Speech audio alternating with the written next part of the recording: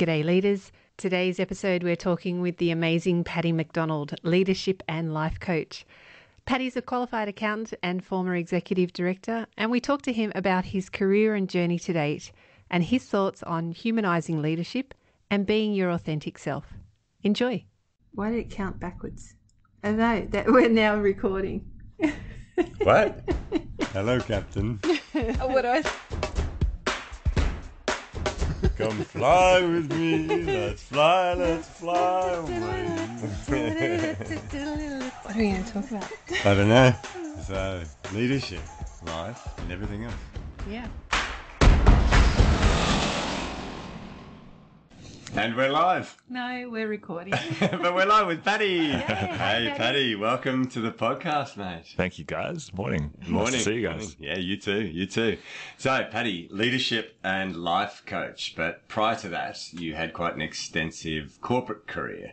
Uh, can you give us a bit of background to Yeah. your corporate career? Absolutely. So I guess in my former life, I started as an accountant. So when I was 17, straight out of school, went into a public practice role where got to support businesses from all walks of life, really like maximize their bottom line, um, profitability being the primary focus as an accountant. Um, and that was something I did for about 15, 16 years, which really like as boring as the stereotype of accounting is, like I actually got a lot of joy out of it. Really helping people just lit me up. Um, and as I kind of deepened into that, I started to desire to bring a sense of depth to what I was doing. And I decided to go into one company specifically so that I could really support that company on all the levels rather than just um, getting little touch points with lots of different clients. Okay, so you moved away from looking after lots of clients to working as an executive director, I believe. Yeah. Yeah, in one company. That's right. So for a project management firm that were building social infrastructure around Australia, um, ended up being the executive director for the operations of that business. So supporting all the different functions, human resources, marketing, technology, and obviously finance as well, um, to basically give the business the structure so that the people on the ground could deliver service to the highest possible ability. okay. Yeah. All right. So you moved from running your own accounting firm to uh, being an executive director, so a senior leader. Pat, why, uh, like, what brought about the transition then into what you do now? Yeah, yeah. So I guess it was a continuation of that journey. And as much as I really loved and got a lot of fulfillment out of like supporting the mission of this company that I believed in so deeply, I started to notice that there were patterns within inside myself and also the other leaders that I worked with that really influenced how um, our company was performing, and also I, would seen in the companies I'd been supporting previously, um, and noticing that a lot of how we show up as leaders is influenced by our own emotional integration and our own ability to um, really show up from a place of uh, presence and um, and having done our own inner self development work. And so the more that I was able to bring that out in myself and the people around me, the more that I could see um, there were actually results coming out for the business. And um, following that thread, it really just felt like a natural evolution to start to focus on that rather than the business element. Start to focus on people being the best versions of themselves, and then naturally trusting that that will flow into the results for the businesses they lead. Oh, okay. that. Yeah, that's that's great because the part of the leadership is that the leader it's it's being able to um, bring out the best in those around you and being self-aware as well. What? How did you become self-aware in in that way? Has it? Have you always been self-aware, or has there been a journey? Was there something a catalyst to to start this? Yeah, definitely a big journey that is very much still continuing. And um, for me, it was something that I went on on my own outside of business and had a bit of a spiritual journey. Um, but then actually noticing that really spirituality is best reflected in the way that we're relating to the people around us. And so, um, with business being a, a function of teamwork and communication, the more that I was able to improve my communication skills and ability to um, show up authentically as myself, but also support others around me to be their best versions of themselves, um, the more that I found like my spiritual journey continued, but also we got the results that we wanted to get as well. So you- you've being a leader, a senior leader, an executive leader, and now you're a leadership coach, I, I'm sure we've got a lot to delve into here. Mm. So we're gonna, I'm just gonna jump into a question I ask all of our guests. Um, We've had one so far. You're the second. Yeah. I'm so glad that you're here. But Yeah, we're going to be asking this question many, many times. A leader is somebody that you follow. Hmm. A manager is somebody who has been given authority. So a leader is somebody you follow and you choose to follow them because they lead by example. And Hmm. so we talk about the characteristics that make somebody the sort of person other people would be inspired to follow. Hmm. So thinking about that, what would make somebody the sort of person that you'd be inspired to follow? Hmm. Or what do you see as a very important character trait in a leader? Yeah, beautiful. Look, uh, firstly, I wanted to say that I think that everybody is actually a leader in their own lives first and foremost. And so, um, just distinguishing that between like someone who's been given the opportunity and the privilege of of leading others um, by nature of of the role in the company, um, and as you've sort of identified, like we wear different hats when we're a leader in a company. We may be a manager as well. We may be, we may actually have our own role in delivering something too. Like when I was the executive director, I still did a lot of the work in the financial side of things because that was my expertise. Um, but when I'm wearing the leader hat, like what I look for in other leaders is someone who's actually taking leadership of their own lives first and foremost, is mm. taking responsibility because there can be a temptation as humans, and we all do it, to really like project any issues or things that we're judging outside of ourselves. And it's easy to blame external circumstances for our problems, but actually, someone who's willing to take responsibility for their own challenges um, is someone who I can trust because I can see that they're not going to put that on me. They're going to actually like really do the work to try and solve it themselves. So they're accountable for how they turn up as a leader every day. Yeah, So they start with themselves. Hundred percent. I like that. I Yeah. like that. Yeah. So rather than focusing on projecting, like you say, our own stuff externally, you're working on your own stuff internally. You're you're you're turning up the best possible version of you, so you can be a great leader. Yeah, that's it. Um, so then delving into it, um, what sort of character traits would you like to see in a leader besides starting on themselves, Hmm. being authentic? Yeah, look, I think it's kind of a paradox. Like the two traits that come to mind instantly are at opposite ends of the spectrum. Yeah. One is a sense of like radical authenticity, like really being who they are at their core and not putting on a facade, mm. putting on a mask, mm-hmm. really like owning their own expression. That might be, you know, bringing um, their vulnerabilities to the table, for example.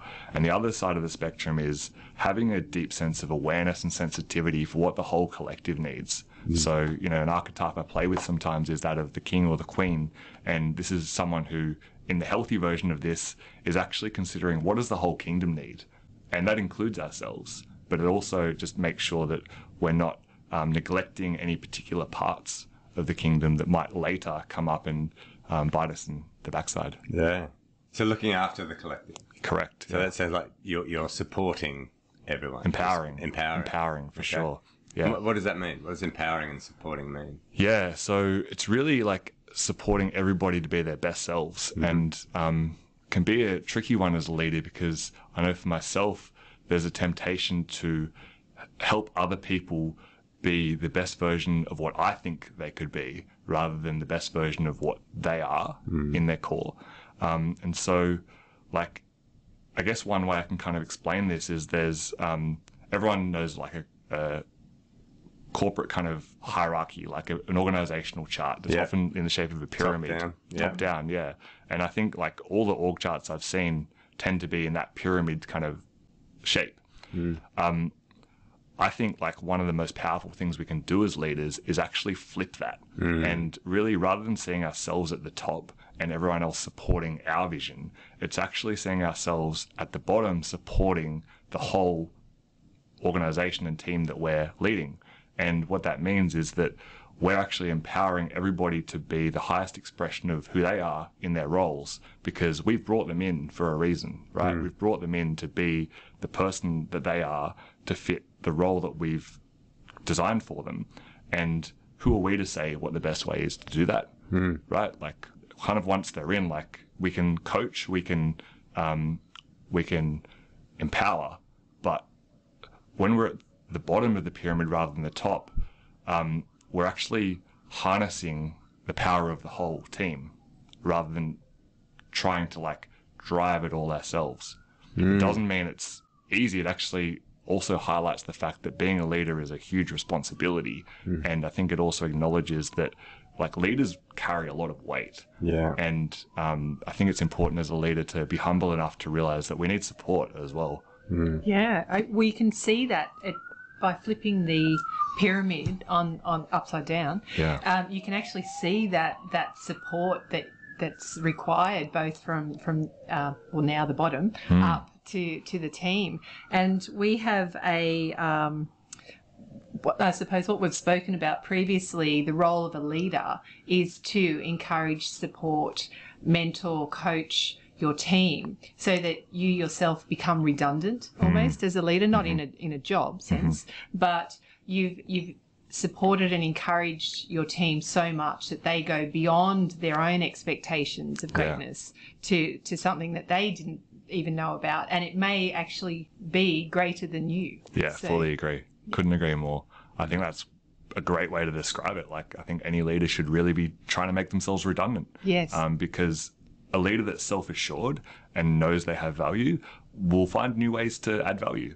And I think, like, when I think a leader is also judged on their team. A leader is not judged on just their own output. A leader is judged on the team's output.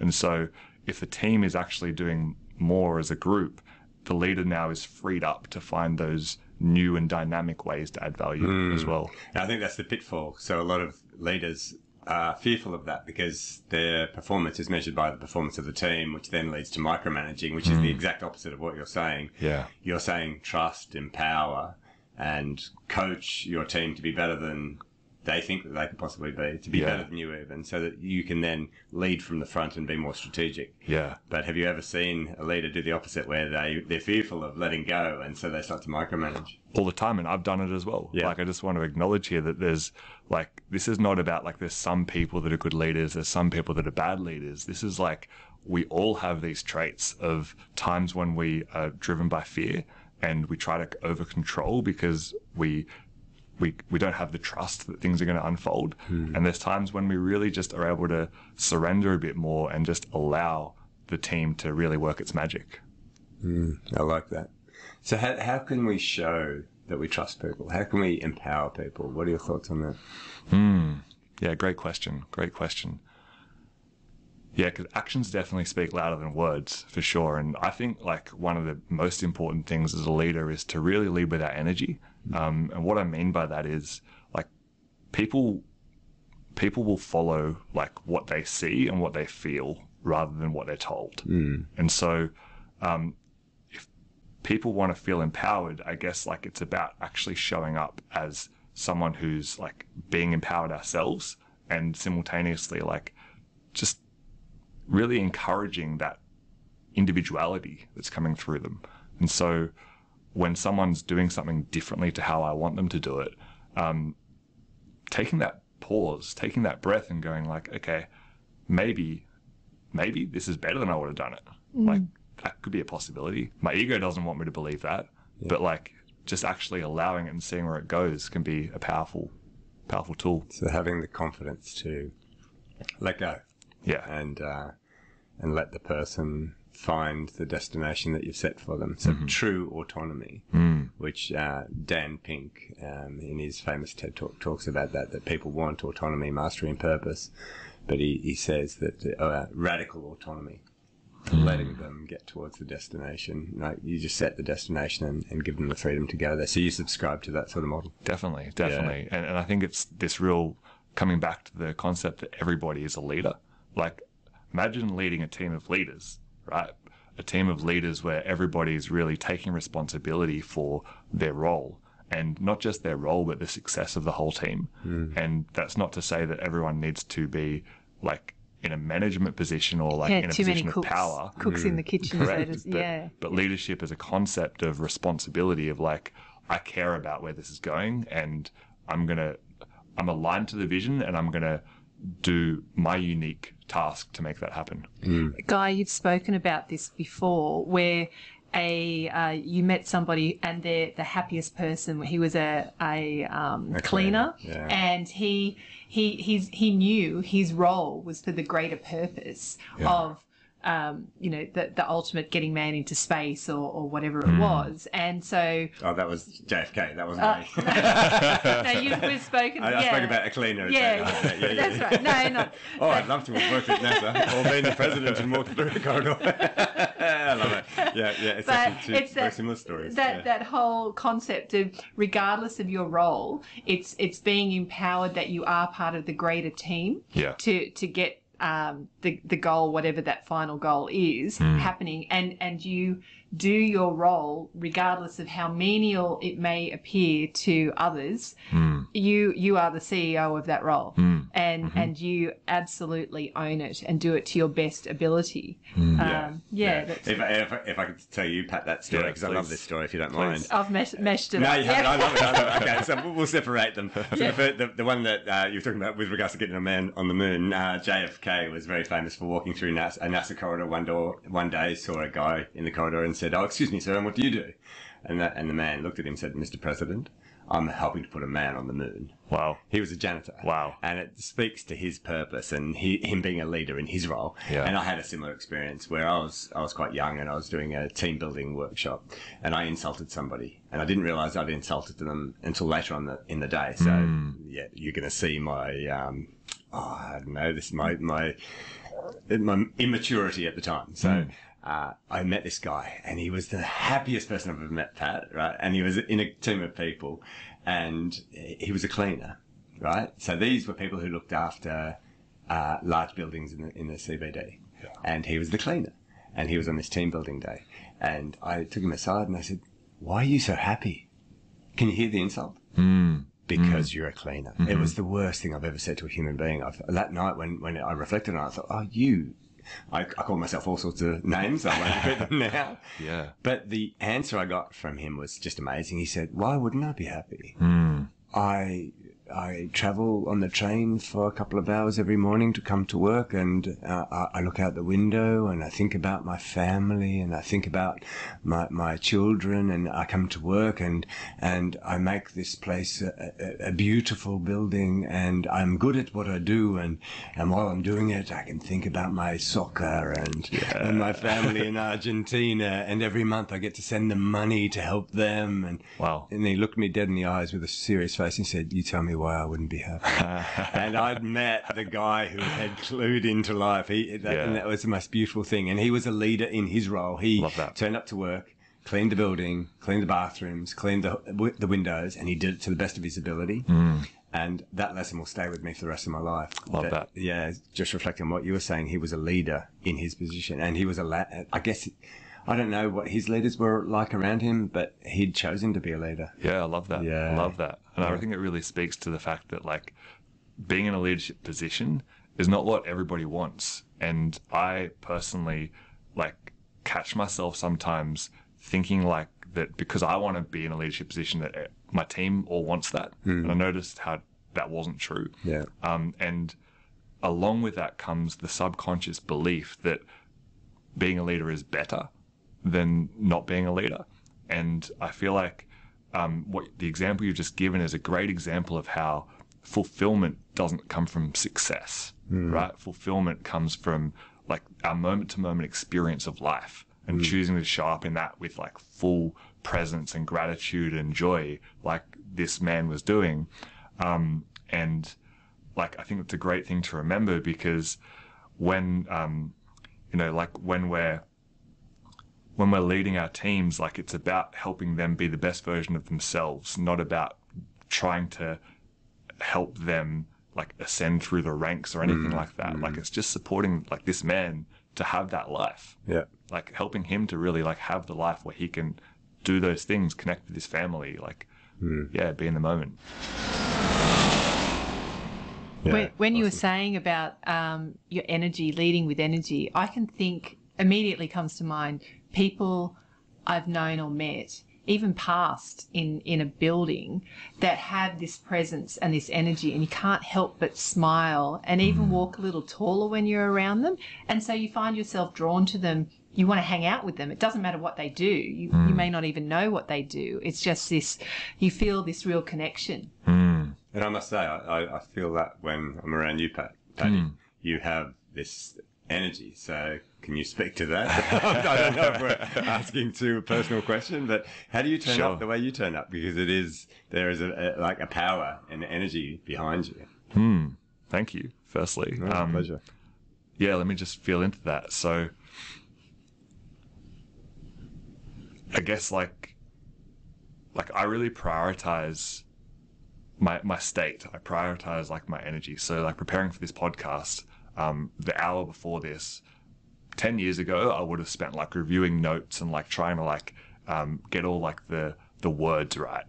Actually, what I did was went and sat by the river and got into a state of meditation. Nice. Because like for me, being in a state of presence is more important than like having it all figured out because I trust that what's meant to come up will come up. And any preparation I did do for this, like, is out the window now. Like, that's like, that might not even be spoken about. So, just, I think, like, for me, the biggest thing that's helped me in life is just facing. It's actually, this is going to sound really weird. And what I'm going to say is that building a relationship with death has been the biggest thing that shifted my life. And by death, I mean like allowing my identity to die and allowing um, any sense of feeling like I have it figured out, feeling like I've got it under control, just dropping all that and just being in the moment and trusting that whatever comes up is what's meant to come up. Mm. I like that. You're still a very young man. You're thinking about death early, but I, Yeah. I like the effect it's had on you. If that's if that's what's happening, that's, Yeah. that's- I like that. Would would you say that was like an ego death, or or you're looking at the whole? Yeah, I think they're related. Yeah. I think they're related. So, um, but when we realize that you know we're all eventually going to die, like it makes us really consider like why are we here? Why are we here if not to actually you know connect and like feel love for our fellow humans and for the planet and for the animals in the world? Why are we here if we're not uh, meant to just be living in a state of joy? And that's more important to me now than any outcomes or successes. I like that. Um, and sim- paradoxically, that's actually allowed so much magic to come up in my life. Yeah. It's very much like the Tibetans. The Tibetans have got a culture where they're very um, uh, connected to death. So very early on in a child's life, they learn about death, and, Mm. and they don't fear it. They they see it as a, a reminder that life is to be lived, as you've just said, Yeah. to turn up authentically and be the best leader you can. Yeah. Yeah. And the concept that I think comes from, like, I, I build a relationship with through Buddhism and meditation is around attachment, right? And so, um, so for example, bringing it back to a more practical thing, we might be attached to how our company performs, for example, um, but realizing that one day this company is going to end might be a thousand years in the future, but like it's not permanent. So, like, it might feel like the biggest issue in the world in the moment, and that's so valid.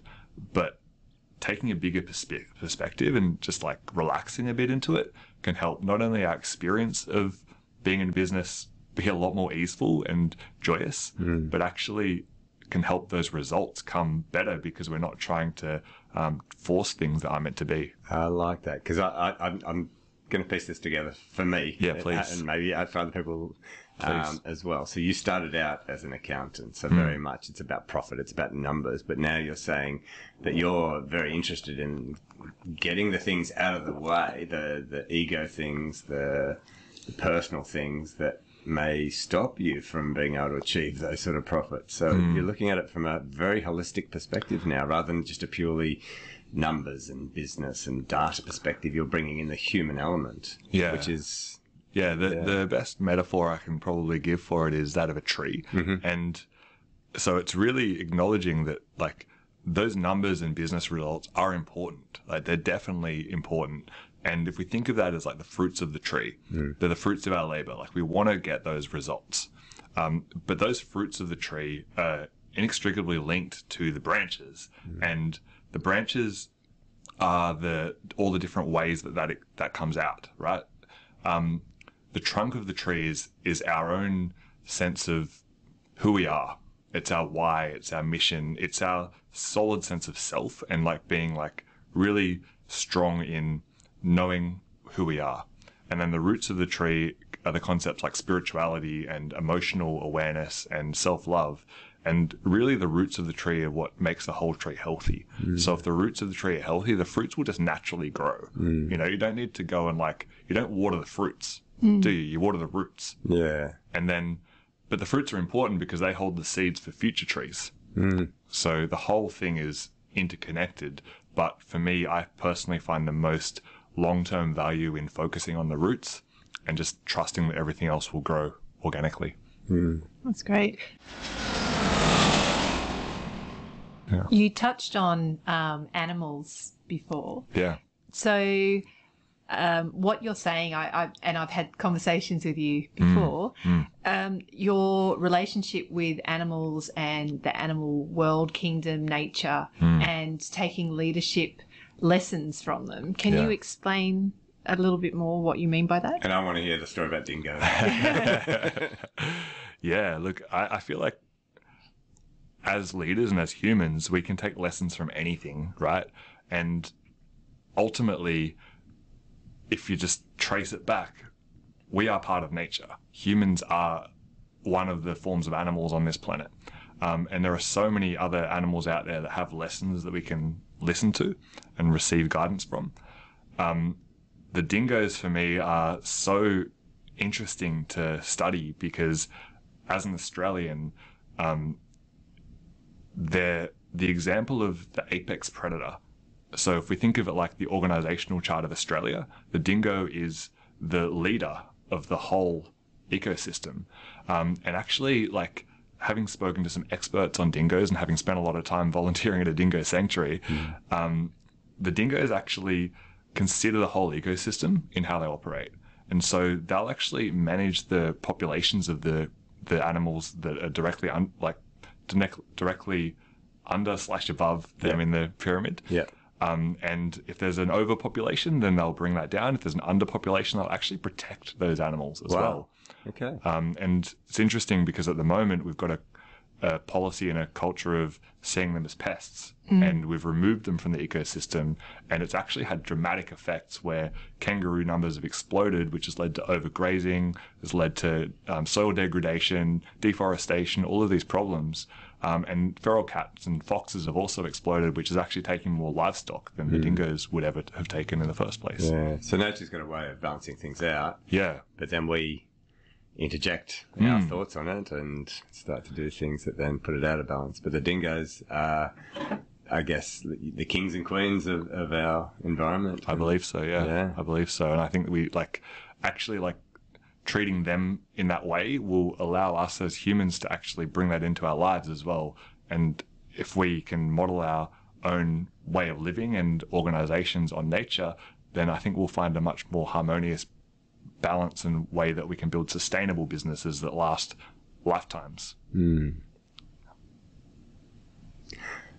That's deep. I'm now resonating with that model. I like it that you Yeah. see yourself as creating creating an ecosystem Yes, yes, where all areas in the business are functioning to their peak. yes, yeah, Yeah, so that you don't have, um, you know, you're not culling certain. I could imagine if you culled your sales team because they were overpopulated, then, Yeah. uh, you know, two years down the track, you don't have enough coming down your sales funnel. Or if you, yeah, yeah, okay. Sorry, I'm just trying to get my head around that Hmm. No, analogy. look, it's a it's- beautiful analogy for leadership, isn't Yeah, it? Yeah, and I think it really comes down to as well, like, why are you doing what you're doing as a leader? Like, are you building a legacy? Are you building something that's going to stand the test of time? Um, because if you are, you need to think, um, play the long game. You need to really think about like what's going to have um, have all of the downstream effects that you're going to have. And for me, when I start to think super long, it gets way too complicated to try and control it in terms of the actual um, specifics. And so what I come back to is principles Yeah. which is values as well. And so that value of you know harmony, balance, these kind of things that are so important in nature, um, I feel like is a great example for us to follow as leaders as well. Yeah, I like that. I talk a lot about how businesses will often have a list of values on the wall, but very little uh, I guess, follow up with regards to how they not enforce them, but encourage them and make sure. So, one of the things I love talking about, and we're going to do a whole podcast on this in the future, is that every organization I have ever worked with has innovation as a core value. But it's the leadership behavior that stops it. And so, I've got a few examples. We won't go into it now, but um, how, as a leader, can you make sure that your organization is encouraging and living those values? Living them yourself, firstly, is the obvious answer. Setting the example. Setting the example. Um, I actually think that's the only answer. I like that. Yeah. Hmm. I feel like if you're embodying it as a leader, it will naturally emanate out to the people around you and then they will embody it. Yeah. And because they won't feel like they've been manipulated into doing it, they'll just like, they'll trust you and want to follow you into battle. Yeah. Right. And so they'll just actually model their behavior on you, on you because they respect you. And then, um, because they're doing that, the people that are following them will do the same. And this might not be an overnight thing. So it's why it's hard to actually like to have the courage to do it because we want the quick results. But it's the only thing that works long term hmm. is just starting any change comes from within, right? Mahatma Gandhi, be the change you want to see in the world. Hmm. It all starts from within. Hmm. And so yeah, that's the Walking answer. Mm-hmm. the walk, not just talking the mm-hmm. talk. Hundred percent. Yeah. So, as a, as a leadership coach, how do you work with your clients? How do you help your clients? What do you, what do you bring Yeah. to that engagement? Yeah. So coming back to that metaphor of the tree, um, I help leaders water the roots. Yeah. Right. So um, there's things that are often under the surface that we don't have awareness of that are actually controlling everything we do. Um, maybe they're showing up in ways that are like just subtly kind of affecting our relating, whether it's like with our team members or with our partners or with our, um, you know, the people we're reporting into. Um, if we've got these these um, shadows that we haven't addressed or faced, then they might come out in like a sense of irritability or like us trying to over manipulate the situation. Um, and so, like, if we think about like so someone working with a team member, um, if I haven't fully developed a sense of um, safety and security within inside myself, I might actually be trying to, like, I might see my team member struggling with something, and I think that oh, they need to be rescued. Like they need to be, um, I need to take things off their plate so that I can do it for them because they're not able to do it. But when I actually realized that like that I'm perfect as I am, and so is this other person in my team, then that actually allows me to show up in a way that um, really helps. It helps everything around me blossom naturally. Um, so I personally feel like focusing on our own emotional health really flows into all of our interactions. And what is business other than a set of human connections and interactions? Um, so, whilst communication is like one of the core skills to work on, all communication comes from our own emotional health as well. Um, so, yeah, working on the roots of any issue is what I find to be important for leaders. I like that. So you're helping them address how they turn up when somebody's struggling, how they turn up. Self responsibility. Self-responsibility. Self responsibility. Because it's so easy to be triggered, right? When someone else is having a reaction, Yep. it can be easy for me to feel like it's about me. Mm. It's not about me. Mm. It's just they're having a reaction and I can hold the space for it, but I don't need to fix it. So you're giving them skills and sounds like a, a different mindset to be calm under pressure, to be composed, Yeah. which uh, again is something that's vital in leadership. If Yeah. the leader is composed, the team's going to be composed. Yeah. Yeah. Okay. It.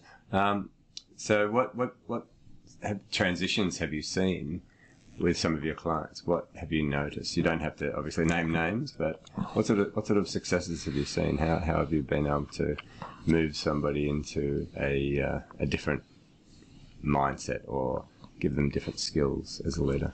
Yeah, yeah, beautiful question. So, um, one example I'll give is um, a client who was having relationship issues actually, and that was causing them to just be quite scattered when they showed up at work because, like, all of our life is interconnected, and even if we feel like we're putting things to one side, it can actually, um, like, energetically, we're not going to be our best selves. And people feel that. And so when we dug into that relationship issue, it actually turned out to be related to something from their childhood. So something that they'd not even really been aware of for decades. And by going back and like readdressing that and like seeing that situation in a new light, they were able to like love that part of themselves that had been suppressed for so long, um, and helped that person really feel the grief and the um, the anger as well that came from that and the self judgment, and start to bring a sense of self love and compassion to that which then enabled them to show up in their relationship in a way that actually like brought a lot of harmony to that. Um, and then by having more harmony in their relationship, then naturally they showed up as a better leader because they weren't like uh, distracted by um, this important part of their life. An accountant who helps save marriages and create better leaders. I love this. The, the, journey that you've been on has been ex- quite extraordinary. To Yeah. starting out as an accountant, becoming having your own accounting firm, working as an executive director, and now finally helping people be be leaders. Yeah, I feel like I'm just at the beginning. yeah, I I but the journey's been quite amazing. I look forward to hearing more about uh, about what you do in the future, Pat. Um, Patty, how how can people find you? Yeah, so best way is Instagram or LinkedIn. Yep. Um, I'm sure you'll put that in the show notes. Yeah, Yeah, absolutely. we people will, can reach will. out. I love connecting with people. So if Yeah. anyone wants to shoot me a message and start a conversation, like please feel free. Um, hosting a retreat in a couple of months in June um, called the Integrated King. It's actually a men's work retreat. Can so, you tell us more about that? um, people can reach out and have a conversation, but Yeah. higher level, it's about really what we've spoken about here. So um, it is about leadership, but self leadership Yeah. first and foremost, Yeah. and um, that will then flow into all areas of their life. Um, so integration for me, like really embodying or bringing in all parts of ourself so Mm-hmm. that we can show up as our higher selves, Mm. um, is the intention of this retreat. Yeah. Um, and I also do one-on-one coaching. So um, that means if any leaders out there would like support, really, um, really just harmonizing their own experience of life, then um, I'd love to have a conversation. Yeah. Oh, well, per, uh, speaking personally, for um, any leaders listening, that, or every leader listening, that when you spend time with Patty, time stands still. and it is, it's just this, this cocoon of safe, safety, and you really feel connected. So it is, it's amazing. And you, or every conversation I have with you, I walk away feeling like I've learned something, not only for leadership, for my work per self uh, sense, that my whole life and Oh. my family and just this buzz. You know, I'm I'm really feeling empowered every time I walk away from you. spending time with you. I appreciate that I concur. I concur. I appreciate that. Uh, any last words on leadership, life, or Hmm. anything else? Because that's our tagline, Patty. Lead, life, leadership, and everything else. Hmm. Yeah, I think just really, really tuning into why you're doing what you're doing. Like, we have one life, right? Maybe more. That as we know it, we have one life. So, In this form. yeah, let's be conscious of actually how we show up and what we want that to be about. And, you know, for me, my values are things like humility, love, gratitude, and I try to really make that the anchor for everything I do. And so just encouraging people to find their own form of that. What's life actually about? And just go on the journey of deepening, um, bringing that into every action, every conversation. Because leadership is not about these massive world changing projects or um, or outcomes. Leadership is about the moment to moment way we show up. And the accumulation of those over a lifetime is what makes a leader really powerful. It's beautiful. I love it. Patty MacDonald, thank you so much for joining us on the podcast. And, Absolute pleasure. uh, thank you for what you're doing. Yeah, love it. Thank you so much. Thanks, Patty. This podcast is brought to you by New Memory, providing professional development training to a global audience for over 20 years. New Memory specialises in leadership development programs as well as time management, communication, presentation skills, customer centricity, and much more. Help your staff become their best self. Download the course catalogue from newmemory.com.au and let them exceed your staff training objectives. That's newmemory.com.au. well, that was fun. That was fun. You're such a clown. The clown. Lady Captain. There we go. and who's going to listen to this? Maybe our mums. Thanks, Mum.